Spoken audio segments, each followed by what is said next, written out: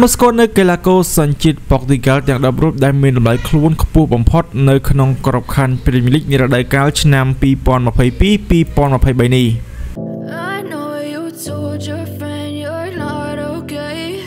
បាទសួស្តីប្រិយមិត្តបងប្អូនអ្នកនរគ្នាស្វាគមន៍មកកាន់វីដេអូថ្មីនៅក្នុងវីដេអូមួយនេះយើងនឹងនាំបងប្អូនអ្នកនរគ្នាមកស្គាល់នៅកីឡាករសញ្ជាតិប៉ុកទីហ្គាល់ដែលមានតម្លៃខ្លួនខ្ពស់បំផុតទាំង10រូបចង់ដឹងថាតើមានកីឡាករណាខ្លះបាទដែលទទួលបានតម្លៃខ្លួនខ្ពស់បំផុតតោះសូមតាមដានជាមួយនឹង admin ដូចទៅទៅ បើជួយទៅតាមគេទំព័រ Transfermarkt បានបង្ហាញនៅបញ្ជីឈ្មោះកីឡាករប៉ុកទីហ្គាល់ទាំង10រូបដែលមានតម្លៃខ្ពស់បំផុតសម្រាប់ក្របខ័ណ្ឌ Premier League នារដូវកាលឆ្នាំ2022-2023លេខរៀងទី10 Diogo Dalot ដែលជាខ្សែការពាររបស់ក្លឹបបាល់ទាត់បេសាចក្រហម Manchester United ដែលមានតម្លៃខ្លួនប្រមាណ32លានអឺរ៉ូលេខរៀងទី9 Pedro Neto ដែលជាខ្សែប្រយុទ្ធរបស់ក្លឹបបាល់ទាត់ Wolverhampton Wanderers ដែលមានតម្លៃប្រមាណ32លានអឺរ៉ូ លេខរៀងទី8 Ruben Neves ដែលជាខ្សែបម្រើរបស់ក្លឹបបាល់ទាត់ Wolverhampton Wanderers ដែលមានតម្លៃខ្លួនប្រមាណ40លានអឺរ៉ូ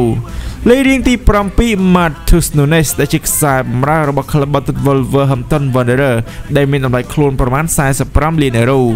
លេខរៀងទី6 Joao Felix ដែលជាខ្សែប្រយុទ្ធរបស់ក្លឹបបាល់ទាត់ Tokyo Chelsea ខ្ចីជើងពី Atletico Madrid ដែលមានតម្លៃប្រមាណ50លានអឺរ៉ូ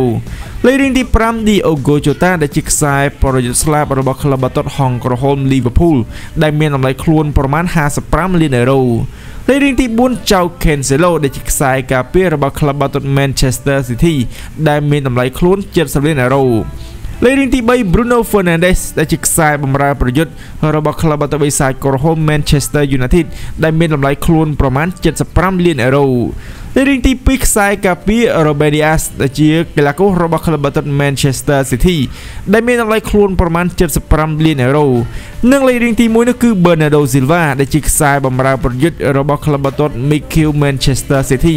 ដែលមានតម្លៃខ្លួនប្រមាណរហូតដល់ទៅ80លានអឺរ៉ូ